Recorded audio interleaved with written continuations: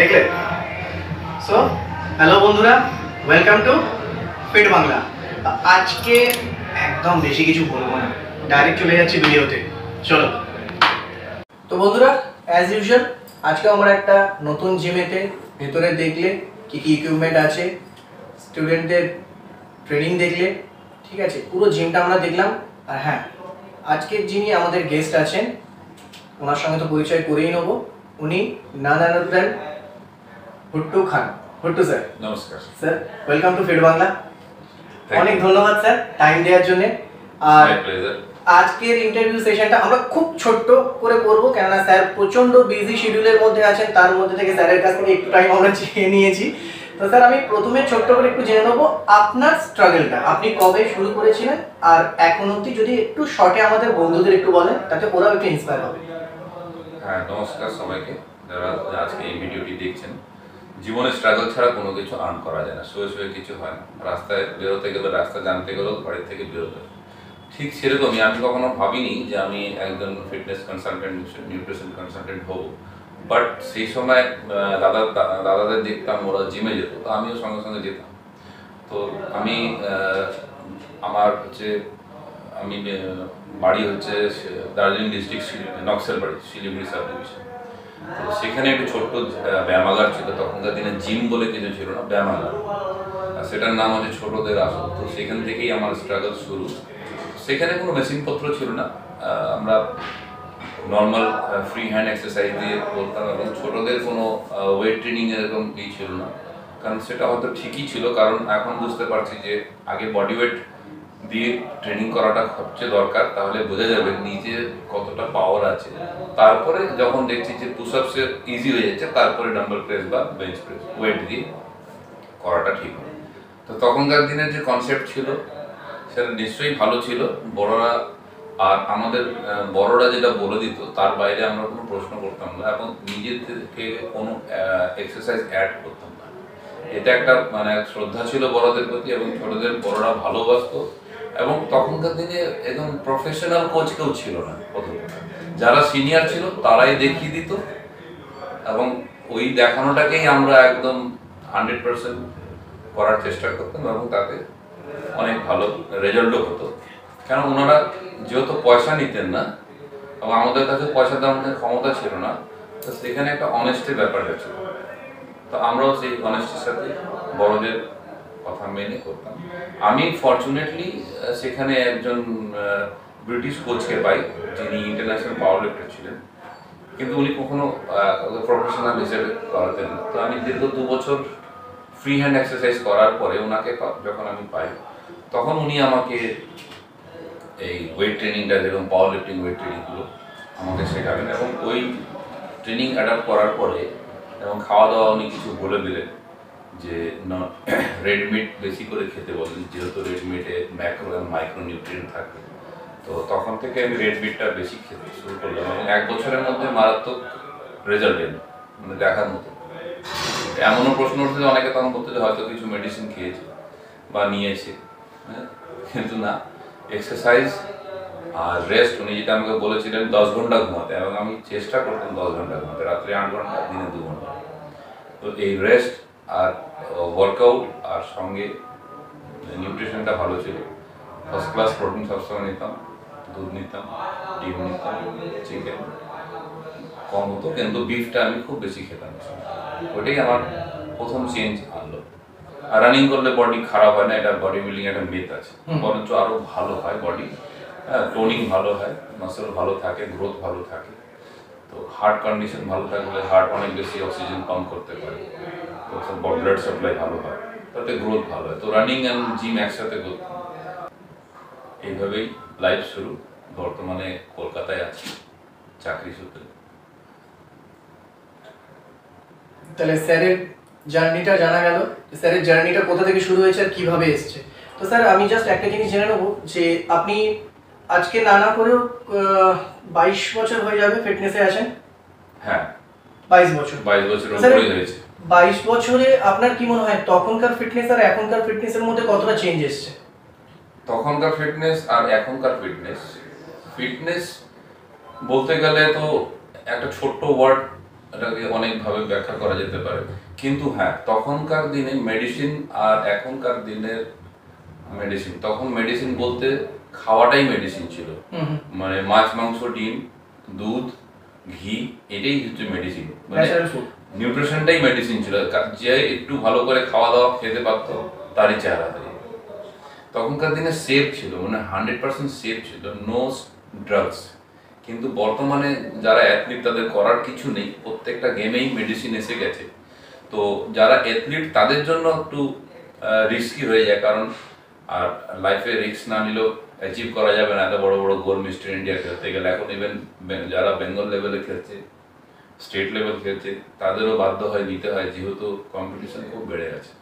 Medicine ছাড়া কোনো উপায় নেই, প্রত্যেকটা গেমই মেডিসিন চলে এসছে। তো এখন আর মানে ফিটনেস আলাদা জিনিস আর অ্যাথলিট আলাদা জিনিস। ফিটনেস থাকতে ফিট গেলে আপনি এখনও আগের মতনই রাখতে পারবেন। আগের মতনই মাছ, মাংস, ডিম খেয়ে আপনি ফিটনেস ভালো রাখতে পারবেন। কিন্তু যদি অ্যাথলিট হতে যান, সেক্ষেত্রে একটু অসুবিধা আছে। আমার সময় যখন আমি কোনোদিনও কোনো ড্রাগস ইউজ করিনি।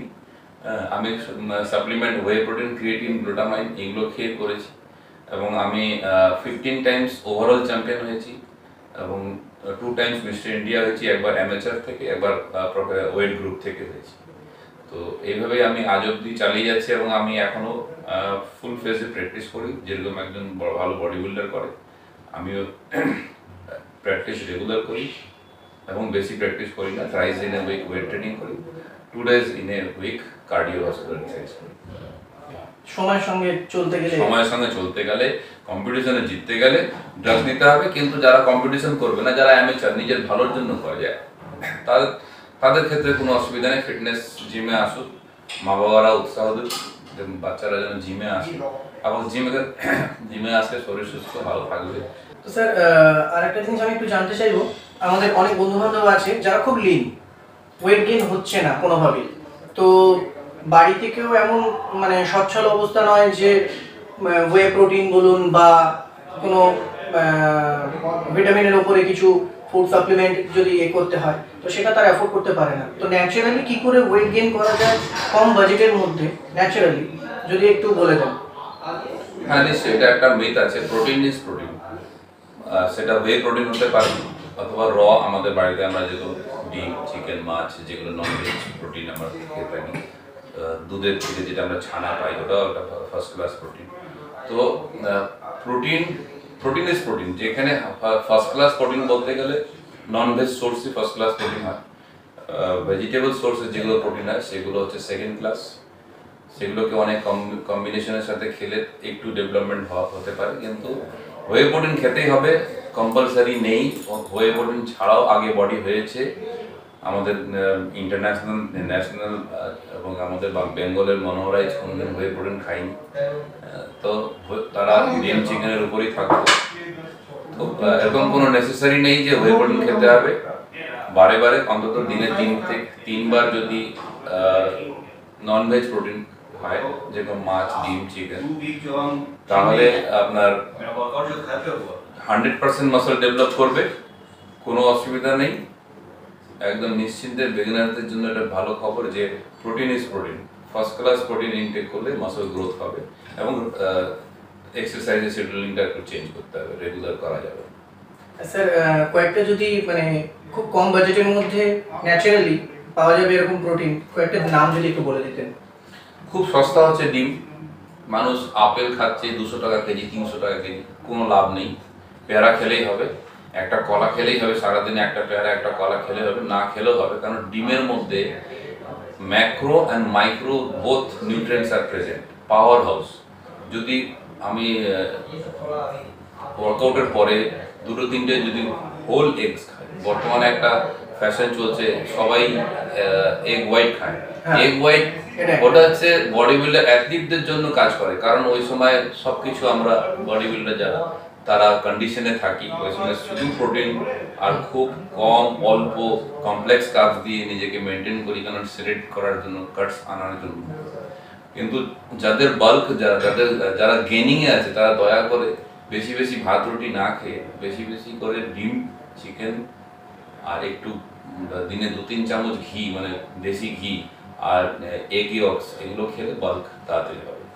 For all beginners intermediate advance super advance সবার জন্যই হচ্ছে ফ্যাটস দরকার কারণ ফ্যাটস না খেলে টেস্টোস্টেরন বুস্টার হয় না। মার্কেটে এরকম অনেক ইয়ে আছে যে এই হাবস খাও টেস্টোস্টেরন বুস্টারের ছেলে মেয়েরা অনেক পয়সা দিয়ে অশ্বগন্ধা এই ধরনের হাবস। খাচ্ছে। কোনো দরকার হয় না এটা সাইন্টিফিকলি প্রুভেন যে ফ্যাটস থেকেই টেস্টোস্টেরন তৈরি হয় মেল ফিমেল হরমোন আমরা ফ্যাটস থেকেই তৈরি হয়। এমন এই দুটোই হরমোন আছে যেটা ফ্যাট খেলে তৈরি, যেটা স্যাচুরেটেড ফ্যাট নট ভেজিটেবল সোর্সের ফ্যাটে স্যাচুরেটেড হয় না ভেজিটেবল ফ্যাটস ভালো না। কারণ এর মধ্যে সেই স্ট্রেংথ নেই যে ভালো কোয়ালিটির টেস্টোস্টেরন লেভেলকে বুস্ট করবে। তো ডিমের কুসুম হচ্ছে টেস্টোস্টেরন বুস্টার ঘি টেস্টোস্টেরন বুস্টার মাখন, দুধের থেকে তৈরি যতগুলো ফ্যাটস একদম পিওর পিওর এবং সেফেস্ট আর ওর মধ্যে মাল্টিপল বেনিফিটস আছে। নিউট্রিয়েন্টসের ক্ষেত্রে ঘি খুবই দরকার গ্রোথ বাটার আর হচ্ছে প্রোটিন ফার্স্ট ক্লাস প্রোটিন হচ্ছে ননভেজ যত প্রোটিন আছে ফার্স্ট ক্লাস প্রোটিন আর ননভেজ দুধও ননভেজ বাট ওটা ল্যাক্টো ভেজিটেরিয়ান।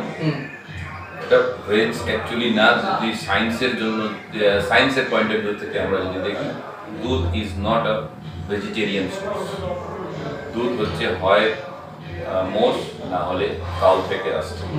তো এখানে আমরা hundred percent first class protein পাবো মানে নাইন এসেন্সিয়াল অ্যামাইনো অ্যাসিড পাবো। কোনো অসুবিধা নেই। আচ্ছা তার মানে স্যার এই যে আপনি যেটা বললেন মানে ওয়েট গেনের জন্য যেটা বললেন যে এটা প্রোটিনটা বা সোর্স অফ প্রোটিনগুলো এগুলো কি ছেলে মেয়ে নির্বিশেষে সবাই করতে পারে তো? Yes protein for all all ages all age group আমরা যখন ছোট থাকি মাদার্স মিল্ক খাই তখন আমরা ওখানে প্রোটিন অ্যান্ড ফ্যাটসই পাই। মানে নেচার আমাদের ফ্যাটস অ্যান্ড প্রোটিন একসাথে দিয়েছে। দুধে ফ্যাটস অ্যান্ড প্রোটিন একসাথে থাকে। স্লিম অ্যান্ড ট্রিম দুধ খাওয়ার কোনো দরকার নেই। মোষ বা গরু যেভাবে দিচ্ছে আমাদের, প্রকৃতি নেচার যেভাবে দিচ্ছে, সেইভাবেই খেতে হবে। মিল্কের অনেক ইম্পর্টেন্স আছে। শুধু প্রোটিন প্রোটিন করলে হবে না। প্রোটিনের সঙ্গে মিল্কও খেতে হবে। মানে ফ্যাটসও খেতে হবে যেটা আমরা দুধ থেকে পাই। তো স্লিম অ্যান্ড ট্রিম দুধ অনেক বেশি বিক্রি হয় কিন্তু হোল মিল্ক কম বিক্রি হয়। এটা মিথ আছে যে মিল্ক বেশি ফ্যাটস খেলে কোলেস্ট্রল হয় এটা মিথ আছে। কোলেস্ট্রল কার্বোহাইড্রেটের জন্য হয়। সেটা অনেক লম্বা বিষয় আছে সেটা কোলেস্ট্রল কীভাবে ডেভেলপ করে হ্যাঁ, সেটা বলতে একটা লম্বা একটা চ্যাপ্টার আলাদা একটা এপিসোড বানাতে হবে যে কোলেস্ট্রল কি এবং তার ফাংশন কি। ওকে শত্রু করে রেখেছে এনিমি করে রেখেছে, কিন্তু কোলেস্ট্রল ছাড়া আমরা বাঁচতে পারব একদম একদম।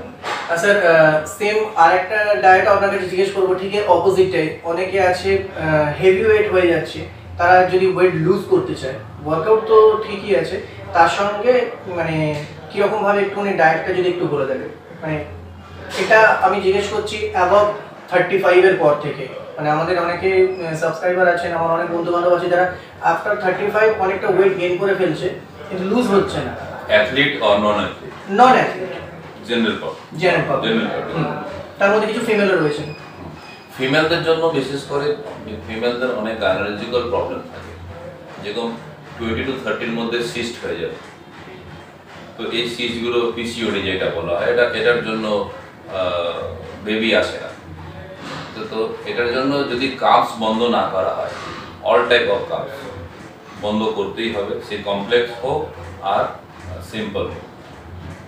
দুটোই কাপস বন্ধ করতে হবে, তখন হাই ফ্যাট অ্যান্ড প্রোটিনে চলতে হবে। মানে ফ্যাট থেকে এনার্জি সব নেওয়া হবে প্রোটিন হচ্ছে মেনটেন করতে তো এইভাবে করলে পরে পিসিওডি চলে যায় রিভার্স করে যায়। এবং যাদের ওয়েট গেইন হয়ে গেছে ওয়েট গেইন হলে মেয়েদের ক্ষেত্রে বিশেষ করে প্রবলেম থাকে এই পিসিওডি হওয়ার। কারণ এই সময়টাই টোয়েন্টি টু থার্টির মধ্যে পিসিওডি খুব বেশি আছে। এখন তো দেখা যাচ্ছে মানে রং ফুড চয়েসের জন্য লাইফস্টাইল এত খারাপ হয়ে গেছে বর্তমান দিনে।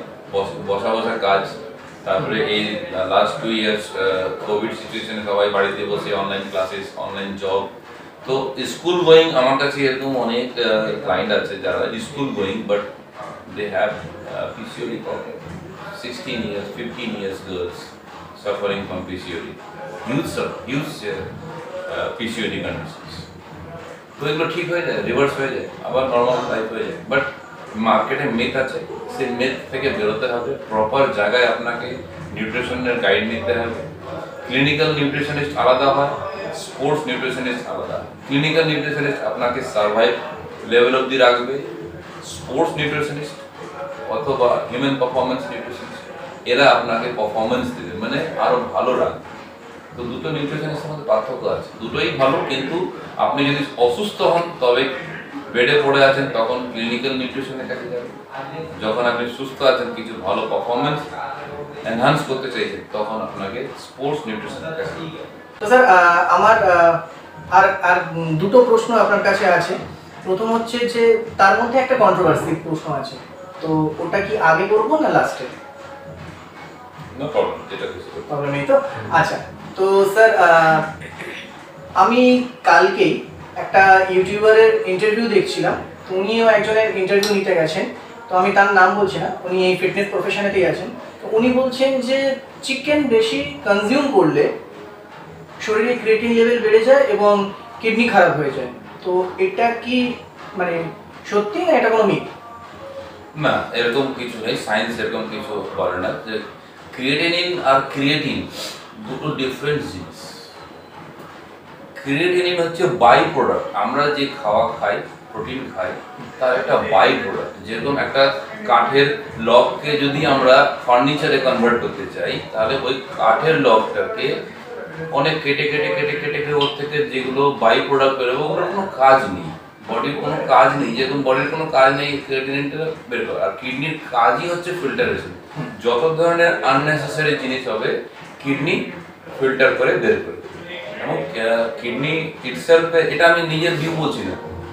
এটা আমি নিজের ভিউ বলছি না। এটা it's a fact it's a science whatever I am saying here it's about all about science it's not my my science it's not my bro science it's actual science fact যদি ক্রিয়েটিনের protein দিয়ে যদি kidney খারাপ হতো, তাহলে কিডনিটা হচ্ছে একটা muscle মাসলের টুকরো। তো কিডনিকে সার্ভাইভ করার জন্য প্রোটিন দরকার। প্রোটিন ডেফিসিয়েন্সি হলে নানান ধরনের রোগ চলে আসে। আর প্রোটিন কখনো কেউ বেশি খেতে পারে না। কারণ আমাদের শরীরে এমনই সিস্টেম আছে যে প্রোটিন আমরা বেশি খেতে পারি না। আমাদেরকে যদি কেউ বলা হয় মানে ফুল কোনো নিমন্ত্রণ বাড়িতে গিয়েছি আমরা এবং সেখানে যদি আমাদের খাওয়া শেষ হয়ে গেল এন্ডিংয়ে এবং তখন লাস্টে যখন দেখা গেল যে আর খেতে পাচ্ছি না সাপোজ এখনকার দিনে বিরিয়ানি সবাই খায়। ফুল পেট বিরিয়ানি খেয়ে নিতে এবার হাঁটতে পারছে না নড়তে পারছে না। কিন্তু যদি বলা আইসক্রিম কর্নারে চলে একটু আইসক্রিম তখন কিন্তু মাইন্ডটা চেঞ্জ হয়। হুম। ঠিক আছে? তো এটা ডিপেন্ড করছে ফুড আইটেমের উপরে আমাদের ক্রেভিং যেরকম খুব খিদে থাকলে যদি কাউকে খুব সুন্দর মাংসের কোনো একটা আইটেম বা ডিমের আইটেম ভালো ভালো কুক করা বয়েল বলছি। সে একটা লিমিট আছে। কারণ আমাদের শরীরের ভেতরে লেপটিন অ্যান্ড গ্রেনিন বলে দুটো ডাইটিশিয়ান আছে। একজন বলে খাও, একজন বলে বন্ধ করো। যদি আমরা রাইট ফুড খাই, তাহলে সেটা সবসময় অ্যাক্টিভ থাকে এবং আমাদের ইনসিস্ট করে। যেরকম পশুদের, যেরকম বাঘকে ধরে নেওয়া হয় যারা প্রোটিন অ্যান্ড ফ্যাট ইনটেক করে যে সমস্ত অ্যানিমেল ওয়াইল্ড অ্যানিমেল আমরা যাকে পরিচালনা করি না গাইড করি না ওরা নিজেকে নিজে গাইড করে যে ওয়াইল্ড অ্যানিমেল বাঘের কথা বলছি। বাঘ যদি খিদে পায় তখনই খায় তখনই হান্টিং করে। অন্য সময় কিন্তু বাঘ শুয়ে থাকে। হ্যাঁ। এবং আমরা যে কোনো জুতে গেলেও এটাও দেখা যায় যে বাঘ একটা বাঘ বসে আছে রোদ্রে শীতকালে বেশিরভাগ দেখা যায় চিড়িয়াখানাতে জুতে গেলে দেখা যায় যে একদিকে মাংস পড়ে আছে বড় একটা পিস আর বাঘ আরেকদিকে মুখ ঘুরে বসে আছে। হ্যাঁ। কিন্তু ছাগলের ক্ষেত্রে সেটা হয় না গরুর ক্ষেত্রে সেটা হয় না। কারণ কার্বোহাইড্রেট ইটারদের মানে এন্ডলেস করে ইটিং করে। কিন্তু যারা ফ্যাট অ্যান্ড প্রোটিন ডায়েট করে তাদের ক্ষেত্রে ওই লেপটিন গ্রেনিন কাজ করে। তখন খিদে না পাওয়া অবধি ও খায় না। একদিন খেলে পরে দু তিন দিন বাঘ না খেয়ে থাকে। কারণ ও ততটাই খায় যতটা রিকোয়ারমেন্ট কেউ বলে দেওয়ার কেউ নেই। তো ওই ওয়াইল্ড অ্যানিমালদের কাছে কোনো ডাইটিশিয়ান নেই। তো তারা কীভাবে নিজেকে মেনটেন করে? আজকে যারা ঘি দুধ খায় তারা দেখো অলিম্পিকে গোল্ড আনছে হরিয়ানা পাঞ্জাব গোল্ড আনছে। যারা নন ভেজ খায় এদিকে নর্থ ইস্টের মীরাবাই চানু মেরি কম এরা আহ, সারা বছরই নন ভেজ খায়। এদের প্রত্যেকটা মিলে নন ভেজ থাকে। তাই এরা এত স্ট্রং তো নন ভেজ খেতে হবে এটা মেট আছে। পারফরমেন্স আনতে গেলে নন ভেজ খেতে হবে এবং সার্ভাইভ করতে গেলেও নন ভেজ খেতে হবে। প্রোটিন কখনো শরীরের জন্য খারাপ হয় না। খারাপ হচ্ছে কিডনি খারাপ হয় এক্সেস গ্লুকোজ এক্সক্রিনেশন করছে। যদি কিডনি খারাপ হতো প্রোটিন দিয়ে, তাহলে প্রত্যেকটা প্লেয়ারের লাইফে কিডনি খারাপ হতো। কিডনি খারাপে যদি প্রুফ হিসাবে দেখতে যায় যে কোনো একটা বড় ল্যাবরেটরিতে গিয়ে যেখানে কিডনি পেশেন্ট আছে, ওখানে দিয়ে যদি একশোটা কিডনি পেশেন্টের যারা কিডনি ফেলিওর রয়েছে, তাদের যদি পুরো লাইফ স্টাডি করা যায় ইয়াং এজ থেকে নিয়ে টিল ডেথ অব্দি তখন দেখা যাবে তার they are all cup fitter মানে সকালে ব্রেড বাটার ব্রেডও খায় না বাটার মুড়ি বিভিন্ন ধরনের কাপস আইটেম খায়, আটার বা গমের আইটেম এগুলো খায়, দুপুরে ভাত খায়, রাত্রে, তারাই হচ্ছে কিডনি রোগী, আপনি যে কোনো দোকানে গেলে কোনো আজকের দিনে প্রোটিন এত খাবে কি করে? সার্ভাইভাল লেভেলের লোকেরা প্রোটিন পাবে একটা দশ হাজার পনেরো হাজার টাকা স্যালারির লোক সপ্তাহে একদিন চিকেন খাওয়া মুশকিল। তো তাদের ম্যাক্সিমাম ডিপেন্ড করছে হচ্ছে কার্বোহাইড্রেটের উপরে। কারণ কার্বোহাইড্রেট সস্তা হয়। হ্যাঁ। গরিব মানুষ খাবে। ইজিলি অ্যাভেলেবেল এবং সস্তাও হয়। চাউমিন খুব ইজিলি পাওয়া যায়। পেটও ভরে তো যারাই কিডনি সাফার করছে। তো দেখতে হবে তাদের পুরো লাইফে তারা carbohydrate ninety nine percent intake আছে প্রোটিন তো ওয়ান পার্সেন্ট তো এগুলো কে কি বলল সেটা আমার ক্লিয়ার করার ব্যাপার না। আমি ফ্যাক্ট বলছি, আমি কোনো কন্ট্রোভার্সিতে যাচ্ছি না। প্রোটিন হচ্ছে একদম প্রোটিন হচ্ছে গ্রিক ওয়ার্ড প্রোডিউস থেকে আসে যার যার অর্থ হচ্ছে প্রাইম ইম্পর্টেন্ট তো গ্রিক এবং ল্যাটিন এরাই হচ্ছে সায়েন্সের সৃষ্টিকর্তা। তো এই প্রোটিউস থেকে প্রোটিন এসেছে। তো প্রোটিনের মানে হচ্ছে প্রাইম ইম্পর্টেন্ট তো প্রাইম ইম্পর্টেন্ট কখনো শরীরের জন্য খারাপ হতে এক্সারসাইজ করলে প্রোটিন দিতে হবে। এক্সারসাইজ যদি নাও করে ফর সার্ভাইভাল লেভেল পার কেজিতে এক গ্রাম প্রোটিন দিতে হবে। আর আজকের দিনে প্রোটিন কারা বেশি খায় অ্যাথলিটরা টাকা। কটা অ্যাথলিটের কিডনি ড্যামেজ হয়েছে? যারা নন অ্যাথলিট কমন পিপল তাদের কিডনি খারাপ হয়েছে। তো এগুলো মনে হয় সায়েন্স এটাকে মানবে না কারণ সায়েন্স প্রুফ চায় এবং ফ্যাক্ট ওরা পাবলিশ করে। তাহলে এই জিনিসটা ক্লিয়ার হলো? মানে বেসিক্যালি আমার নিজের কাছে ক্লিয়ার হলো কেননা মানে আমি এটা কন্ট্রোভার্সি এই জন্যই বললাম যে এই ভিডিওটা মানে এখন যারা দেখছে তারা যদি আমি যে ভিডিওটা দেখেছি সেই চ্যানেল বা সেই অ্যাথলিটের নামটা আমি বলছি না তারা যদি দেখে থাকে তো এটা নিয়ে একটা কন্ট্রোভার্সি বলে হতে পারে। আমি- তো ওই জন্য আমি জিনিসটাই ক্লিয়ার করিয়ে দিলাম। আমি হ্যাঁ, দেখিনি অবশ্য কোনো ভিডিওতে এরকম যে কেউ কিছু বলেছে আমি দেখিনি। আচ্ছা। ঠিক আছে? দরকারও নেই কারণ এগুলো কন্টেন্ট হ্যাঁ। এগুলো কন্টেন্ট মার্কেটে অনেক কিছু ঘুরে বেড়ায় যেগুলো আপনি এক টাকায় কার নিয়ে যান নিতে যাবেন এক টাকাকে কার পাওয়া যায়। সম্ভব না। তো যে যার বিলিভ বলতে পারে এখানে কোনো অন্যায় নেই। সায়েন্স এটাই মানে যে ফ্যাক্ট আমি সায়েন্সকে ফলো করি কারণ সায়েন্সে ছাড়া আমি এক মুহূর্ত আজকে যে বি- কথাটা বলছি সবার মধ্যে প্রচার হবে বিকজ অফ সায়েন্স সায়েন্স হচ্ছে ফ্যাক্ট বলে শরীরের ক্ষেত্রে হোক যেখানেই হোক সায়েন্স নিয়েই চলতে হবে। কারণ আমরা বডি বিল্ডার আমরা আমাদের যে হিউম্যান মেকানিজম কীভাবে কাজ করে কীভাবে এক্সারসাইজ করলে অনেক বেশি ইম্প্যাক্ট অল্প সময় এক ঘণ্টা প্র্যাকটিস করেও বডি বিল্ডিং করা যায়। অনেকে বলে যে দাদা টাইম পাচ্ছি না তিন দিনে কি বডি বিল্ডিং হয়? তিন দিনই বডি বিল্ডিং হবে ছ দিনে বডি বিল্ডিং হবে। ছ দিন করলে মাসল গ্রোথ হবে। ওই জন্যই আমাদের বেঙ্গলের ছেলেপেলেদের খুব মানে ছোট সাইজ ওরা মাসেল গ্রোথের জন্য রেস্ট অ্যান্ড রিকভারিটাকে মনে করে না ওটা কোনো ব্যাপার না। ডেলি করলে মানে সবাই এসে বাইসেপ ট্রাইসেপ করে বেরিয়ে যায়। এগুলো একটা মেথ আছে মার্কেটে যে ডেলি করলে বেশি হবে। কারও একটা খারাপ কোনো কোচ বা স্যার দাদারা বললেন যে তুই এটা দুদিন কর। না একটা মাসেলসকে ছ দিন যদি রেস্ট না দিই, তাহলে ওই লেভেলে পৌঁছাতে পারব না। একটা সামান্য ডেভেলপ দেখা যাবে, প্রথম দু তিন মাসে তারপরে গিয়ে স্টার্ট করে যাবে। এবং নিউট্রিশনটাও ঠিক ভালো না। নিউট্রিশনটা খেতে হবে, দিনে অন্তত চারবার ফার্স্ট ক্লাস প্রোটিন খেতে হবে। যারা ভেজিটেরিয়ান টোটাল ভেজিটেরিয়ান যারা ডিম অব্দি খায় না, তাদের ছেনা খেতে দুধের দুধ, ছানা, যারা অ্যাথলিট এরকম অনেক আছে যারা বলে আমি ভেজিটেরিয়ান বডি বিল্ডার ভেজ খেয়েও বডি বিল্ডার কিন্তু তারা এটা মিথ এটা মিথ অ্যাকচুয়ালি তারা অ্যাকচুয়ালি সায়েন্স জানে না। এরকম আমাদের বলিউড ইন্ডাস্ট্রিতে এরকম নিজেকে প্রমোট করে যে আমি হান্ড্রেড পার্সেন্ট ভেজিটেরিয়ান। অথচ ওয়ে প্রোটিন খাচ্ছে। ছানা ছানা খাচ্ছে মানে পনির খাচ্ছে। তারা বলছে আমি ভেজিটেরিয়ান কিন্তু ওরা জানে না এটা এটা ভেজিটেরিয়ান দুধ কখনো ভেজিটেরিয়ান সোর্স না অ্যাকর্ডিং টু সায়েন্স কোনো অ্যানিমেল সোর্স থেকে আসা জিনিসকে আমরা ভেজিটেরিয়ান বলতে পারি না অ্যাকর্ডিং টু সায়েন্স আমরা ধার্মিক আস্থার জন্য বলতে পারি যেহেতু পুজোতে আমরা দুধ ইউজ করছি। ইউজ করছি সেক্ষেত্রে আমরা vegetarian but it's a not a complete vegetarian vegetarian কাদের বলা হবে? যারা ভেগান ওরা দুধ অবধি খায়। জৈনের এরকম আছে কিছু আমাদের সম্প্রদায় আছে আমাদের ভারতবর্ষে যারা পুরোপুরি একেবারে ভেজিটেবলস অ্যান্ড ফ্রুটসের উপর ডিপেন্ড ওরা মাছ আগা আগাগোড়াই পড়ে থাকে কেন ওরা ওদেরা এটা বিলিভ করে যে ছোট ছোট ছোট ছোট যদি কোনো ব্যাকটেরিয়া বা ভাইরাস যেটা আমাদের ক্ষতি করে না আমাদের মুখ নাক দিয়ে যদি ভেতরে চলে মধ্যে যায় হ্যাঁ। নিঃশ্বাসের মধ্যে দিয়ে চলে যায় সেটাও ইনটেক হয়ে গেল।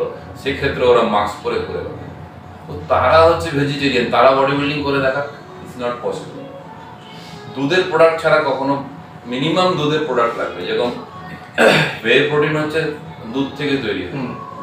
তো দুধের অনেক ফরমেশন দুধে তৈরি করা হয়। তো দুধের প্রোডাক্ট খাচ্ছে পনির খাচ্ছে ওয়ে প্রোটিন খাচ্ছে অথচ খুব ভালো চেহারা নাম বলছি না কিন্তু উনি বলছে যে আমি হান্ড্রেড পার্সেন্ট ভেজিটেরিয়ান।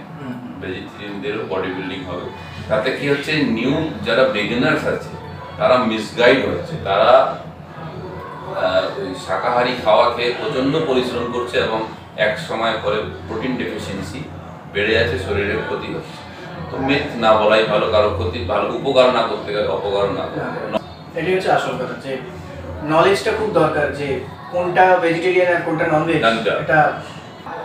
তো স্যার আপনার কাছে আমার লাস্ট কোয়েশ্চেন একটাই সেটা হচ্ছে যে ফিট থাকার জন্য বা কমপ্লিট করবার জন্য বা ভালো চেহারা তৈরি করবার জন্য লেগস ওয়ার্কআউট কতটা ইম্পর্টেন্ট আপনার কি মনে হয়? লেগস ওয়ার্কআউট কতটা দরকার আছে? দেখুন, একটা বাড়ির বেসমেন্ট যদি ভালো না হয় বিল্ডিং পড়ে যাবে। তো লেগস হচ্ছে আমাদের বডির আপার বডি যে ফাংশন আছে, ওকে সবসময় বে- হাঁটাচলা করতে গেলেও লেগস দরকার তো যদি এক্সারসাইজ করতে গিয়ে আমি যদি আপার বডির ওয়েট বাড়াচ্ছি এবং লোয়ার বডি সেগমেন্টটাকে তো দেখতে তো খারাপ লাগছে এবং স্ট্রেংথ আমি যদি লেগস না করি, বাকি সব পারফরমেন্স ড্রপ করে যায় তার কারণ হচ্ছে সাপোজ আমি যদি ডেডলিফ করি, দাঁড়িয়ে আছি, আমার যদি হিপ মাসেলস মানে গ্লুটস গ্রুপের গ্লুটসের যে মাসেলসগুলো আছে গ্লুটিয়াল গ্রুপের যে মাসেলস আছে, সেটা যদি স্ট্রং না হয় আমার যদি ক্রডিসেপ যদি স্ট্রং না হয়, তাহলে আমি যখন কোমর দিয়ে তুলতে যাব ব্যাক দিয়ে লোয়ার ব্যাক দিয়ে তুলতে যাব, তখনই ইঞ্জুরিটা বেশি হবে এবং ডেডলিফট এমন একটা এক্সারসাইজ যেখানে হিপ অ্যান্ড নি এক্সটেনশন করে আমরা উপরে আসি তো এখানে লেগসের দরকার আছে। তো আর স্কোয়াট তো একটা স্ট্রাকচারাল লিফট যেখানে একটা এক্সিয়াল লোডিং আমাদের শোল্ডারের উপর ওয়েট থাকে এবং সেটা পায়ের অব্দি ওটা ডাইভার্ট হয় ওয়েটটা এক্সিয়াল লোডিং এর জন্য সবচেয়ে ভালো বন ডেনসিটি কি করে বাড়ে স্কটের স্কটের মতন বন ডেনসিটি বাড়ানোর কোনো এক্সারসাইজ এক্সিয়াল লোডিং যেখানে আছে মানে যেখানে মাথার উপরে ওয়েট আছে বা কাঁধে ওয়েট আছে, এই overhead squat front squat back squat super ওই লাঞ্জেস করে কিচ্ছু হবে মেথ আছে। আমি সেদিন দেখাচ্ছিলাম, আমার একটা স্টুডেন্টকে ও পায়ের শেপ বলল, কি করে এত সুন্দর শেপ এসছে? লাঞ্জেস করে এমন না এক্সটেনশন করে এমন না। কিচ্ছু কারণ ওকে আমি স্কট করে তিনটে squat front squat over squat আর ব্যাক স্কট ওটা হচ্ছে জেনেটিক কারণ মাসেলসের ডেফিনেশন কোনো ট্রেনার চেঞ্জ করতে পারে না। এগুলো, এটা একটা বড় মিথ যে আমি ওর বডিটাকে এরকম বানিয়ে দিলাম, এর বডিটাকে এরকম বানিয়ে দিলাম। যেরকম আছে সেরকমই থাকবে, ছোট বড় হতে পারে মাসেলসের সাইজ বড় হতে পারে, ছোট হতে পারে। মাসেলসের কাল করলে পারে তাহলে প্রত্যেকটা বডি বিল্ডারের পিক একদম হাই থাকবে। সবাই ট্রাই করে। এগুলো জেনেটিক যে এতেই বোঝা যায় যে কোনো কোচেস মাসেলসের যে ডেফিনেশন আছে চেঞ্জ করতে পারে। যার যেটা জন্মগত অ্যানাটমি নিয়ে যে জন্ম হয়েছে জেনেটিক্যালি যে যেরকম সেরকমই হবে। তাহলে প্রত্যেকটা গুরুর ছাত্র গুরুর মতনই হবে। কারণ গুরু যে নিজের উপরে অ্যাপ্লাই করেছে সেটা মধ্যে অ্যাপ্লাই করেছে। তো সেক্ষেত্রে একই রকম চেহারা হতো কিন্তু আলাদা আলাদা কেন? সলমান খানের কাছে ঋতিক রোশন ব্যায়াম শুরু করেছে। সলমান খানের বাইসেপের পিক ঋতিকের মতন না। ঋতিকের বাইসেপের পিক যেমন ছোট এবং পিক হ্যাঁ। এটা হচ্ছে যে মাসেল যে বেলি আছে যার বাইসেপের মাসেলের বেলি ছোট তার পিক বড় হবে। এটা খুব আহ, জানার ব্যাপার। কীভাবে মাসেলস এরকম পিক হবে? তো যার মাসেলসের যেমন বাইসেপের এক্সাম্পল দিচ্ছি বাইসেপের যদি মাসেল বেলি ছোট হয় তাহলে সেটা এক্সারসাইজ করলে পিকটা ভালো হবে। কিন্তু যাদের মাসেল বেলি লম্বা তাদের পিক আসবে। এই জন্য সলমান আর ঋত্বিকের বাইসেপ আপনারা যদি কম্পেয়ার করে দেখুন, দেখবেন আমার কথাটা মিলে পাবে এখানে কোনো ম্যাজিক নেই কোনো কোচেস আমিও একটা কোচ স্ট্রেংথ কোচ আমি সবসময় বলি, স্যার, আমাকে এরকম বানিয়ে দিলে আমার হবে না। তোমার তোমার মতনই হবে। তোমার জেনেটিক গড যেরকম দিয়েছে নেচার তোমাকে যেরকম দিয়েছে, ঠিক তোমার জেনেটিক সেরকমই হবে। হ্যাঁ তুমি জেনেটিকটা ভালো না খারাপ মাসল কোয়ালিটি ভালো না কেন তোমাকে আগে মেডিসিন নেওয়ার আগে দু থেকে তিন বছর ভালো স্ট্রেংথ ট্রেনিং ভালো কার্ডিওভাস্কুলার ট্রেনিং ভালো নিউট্রিশন ভালো রেস্ট দু থেকে তিন বছর মিনিমাম করতে হবে ধৈর্য সহকারে। যদি জেনেটিক্যালি ভালো হয় তবেই মেডিসিনে যাও। তাহলে জেনেটিক্যালি যদি ব্লেসড হও তাহলে কম্পিটিশন ভালো রেজাল্ট করবে এবং অনেক আগে যাবে এবং সেটা সার্থক হবে রিস্ক নেওয়াটা। তো সেটা করাই ভালো। তো স্যার আহ, আর জাস্ট অ্যাজ এ নিউট্রিশনিস্ট আপনার কাছে আমার একটাই কোয়েশ্চেন যে আপনি অ্যাজ এ নিউট্রিশনিস্ট হান্ড্রেড যদি আপনার কাছে নাম মার্কস থাকে তো ফিটনেসকে আপনি কি কি পার্টেতে ডিভাইড করবেন আর কত কত পার্সেন্ট রাখবেন সেখানে? মানে আপনি যেটা বলছিলেন যে রেস ওয়ার্কআউট এরকম একটা মানে চলতি কথা আছে মার্কেটে যে নিউট্রিশনটা নাইনটি পার্সেন্ট অথবা এইটি পার্সেন্ট বাকিটা টোয়েন্টি পার্সেন্ট কিন্তু এরকম না। একটা ফিটনেস আমরা আমাদের ফিটনেস যেটা আমরা বলি ফিটনেস ট্রাইপড একটা এই তিনটা ট্রাইপড থাকে, যেমন আমাদের স্ট্যান্ড আছে ট্রাইপড তো এই পড এক একটা স্ট্যান্ড হচ্ছে একে অপরের সাথে ইন্টারকানেক্টেড একটা যদি স্ট্যান্ড ভেঙে যায়, তাহলে আপনার যেটাতে আপনি ক্যামেরা রেখেছেন, সেই ক্যামেরাটা স্টেবল থাকবে না। তো সেক্ষেত্রে আপনাকে হান্ড্রেড পার্সেন্ট ওয়ার্কআউটে ফোকাস করতে হবে হান্ড্রেড পার্সেন্ট নিউট্রিশনে ফোকাস করতে হবে হান্ড্রেড পার্সেন্ট রিকভারি মানে ঘুম রেস্ট অ্যান্ড রিকভারিতে করতে হবে। এবং এটাকে কনসিস্টেন্সি রিপিট করে যেতে হবে। ভালো ঘুম হলে ভালো এক্সারসাইজ হবে, ভালো এক্সারসাইজ হলে ভালো খিদে পাবে। এইভাবে করে আপনাকে এটাকে রিপিট করে যেতে হবে। যতদিন না আপনার গোল রিচ কোনো কোনো স্টপ হবে না। আর সারা বছর প্র্যাকটিস করতে হবে সিস্টেমেটিক্যালি সেশন যখন যারা নর্মাল লোক, তাদের জন্য সারা বছর ট্রেনিং এবং সপ্তাহে মানে max max to max five days not seven days two days full rest আমরা রেস্ট করলে, ভালো খাবার খেলে, যেরকম ফ্যাটস জাতীয় খাবার খেলে, এই ফ্রিকশন হয় না এবং বোনস ভালো থাকে। প্রোটিনও বোনসকে ভালো রাখতে গেলে ক্যালসিয়ামের সঙ্গে সঙ্গে প্রোটিনও দরকার। প্রোটিনের protein is very important protein ছাড়া না সার্ভাইভাল না অ্যাথলিট কোনোটাই সম্ভব না। সার্ভাইভ করতে গেলেও প্রোটিন খেতে হবে।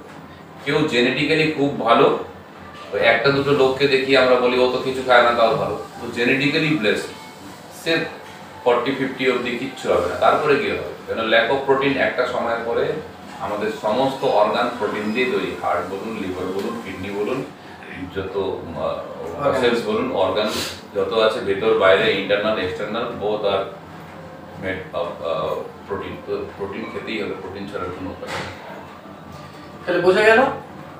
আপাতত তোমাদের যা যা কোয়েশ্চেন ছিল বা জানার ইচ্ছে ছিল সেগুলো তো জেনে গেলে। তো স্যার আমি একটা জিনিস জেনে নেব আপনার কাছ থেকে যে এরকম অনেকেই আছে যাদের মাসেল চোট আছে বা কোনো ইনজুরি আছে তারা আপনার সঙ্গে যদি যোগাযোগ করতে চায় তো কীভাবে করতে পারে? আমার ফেসবুক আছে ভুট্টো খান বলে ফেসবুক আছে ইনস্টাগ্রাম আছে কোচ ভুট্টো ওখানে ফলো করতে পারে ওখান থেকে যোগাযোগ করতে পারে। ওখানে কন্ট্যাক্ট নাম্বারও দেওয়া আছে ফেসবুকে তো স্যার আমি আপনার সমস্ত ডিটেলস কি ডেসক্রিপশনে দিয়ে দিতে পারি? হ্যাঁ দিয়ে দিতে পারে কোনো অসুবিধা নেই। তাহলে বোঝা গেল ন্যাচারালি নিজের স্ট্রেংথ গ্রো করবার জন্য মাসেল গ্রো করবার জন্য বেসিক্যালি তোমাদের ফলো করতে হবে যে মেশিন বাদ দিয়ে নিজে যতটা ওয়েট ক্যারি করতে পারবে আর প্রপার ওয়েতে একটা ভালো ট্রেনারের গাইডেন্সে থ্যাংক ইউ স্যার আমাদের টাইম দেওয়ার জন্যে। আর তোমরাও জানতে পারলে আর স্যার যাদের নাম বললেন যে সমীর ঘোষ সুদীপ্ত সেনগুপ্ত তাদের ইন্টারভিউ তো আমাদের চ্যানেলে আছে। তোমাদের যদি আরও কিছু ওনাদের সম্বন্ধে জানতে হয় তো আমাদের চ্যানেলেতে ওনাদের ইন্টারভিউগুলো তোমরা ফলো করে দেখতে পারো। আর নিউট্রিশনের ব্যাপারে ইনজুরির ব্যাপারে স্যারের কাছ থেকে আরও কিছু আমরা জেনে নেব পরে আরেকদিন। আর ততক্ষণের জন্যে আজকে এখানে আমরা শেষ করছি। চলো দেখা হচ্ছে খুব তাড়াতাড়ি আবার একটা সেশনে তাই না